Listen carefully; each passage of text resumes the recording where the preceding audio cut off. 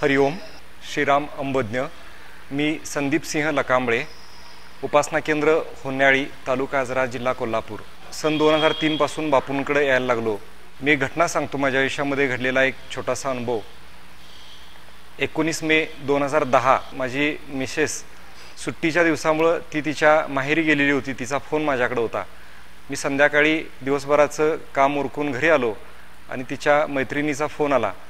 मैत्रिणीचा फोन आला म्हणून मी घराच्या मागच्या बाजूला असणाऱ्या एका छोट्या कट्टीवर उभं राहून बोलत होतो. मागचा घराच्या पाठीमागचा लाइट बंद होता. त्यामुळे पूर्ण अंधार होता आणि पाठीमागं परडं होतं. ज्या ठिकाणी मी उभा होतो तर माझ्या पायाखाली एक किडा वळवळल्यासारखं झालं. मला स्पष्ट जाणीव झाली की माझ्या बोटांच्या मधून एक किडा हळूच निसटून बाजूला गेलेला आहे. पण मी फोनवर बोलण्याच्या गडबडीत असल्यामुळं आणि किडा असणार या अंदाजानं मी तिकडं थोडंसं दुर्लक्ष केलं आणि फोनवर बोलताना माझ्या लक्षात आलं की माझ्या घरातली लाइट चालू होती आणि उघडलेल्या दरवाजातून उंबऱ्यातून बाहेर प्रकाश पडलेला होता आणि उंबऱ्याच्या बाजूनं एक साप जाताना मला दिसला त्या लाईटच्या प्रकाशामध्ये. मग मी फोन माझा हातातच होता. तिच्या मैत्रिणीला म्हटलं मी थोडं नंतर फोन करतो. आणि आमच्या गल्लीत एक वास्तुशांतीचा कार्यक्रम होता. माझी आई माझे वडील काही शेजारच्या महिला त्या कट्टीवरती गप्पा मारत होत्या. मी पाठीमागून जोरजोरानं माझ्या वडिलांना हाक मारली आईला हाक मारली पण स्पीकरच्या आवाजामुळे त्यांना हाक पोचत नव्हती. मग मी एकदा जोरात मोठ्यानं ओरडलो. काय झालं म्हणून ते पटकन सगळे आत आले? म्हटलं साप साप म्हणून मी ओरडायला लागलो. वडिलांनी चुलीजवळ असणारं एक लाकूड हातात घेतलं. पाठीमागची लाइट लावली आणि इकडं तिकडं बघितलं. तर कुठं काहीही दिसत नव्हतं.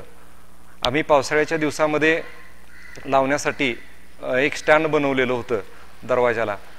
ते पलीकडच्या कट्टीवरती ठेवलेलं होतं. वडिलांनी ते स्टँड उचललं आणि बघितलं तर अक्षरशः एक दीड फूट फणा काढलेला नाग उभा होता. मला तो साप बघितल्यानंतर मी माझ्या आईकडं बघितलं. आईच्या डोळ्यातून घळाघळा अश्रू उघळत होते.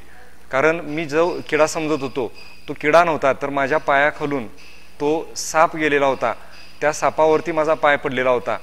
साधारणपणे आप म- माझ्या अनुभवानुसार नागसाप असा दुखवल्यानंतर तो दावा किंवा दंश केल्याशिवाय कधीही पुढं जात नाही. तर मी ती घटना बघितली.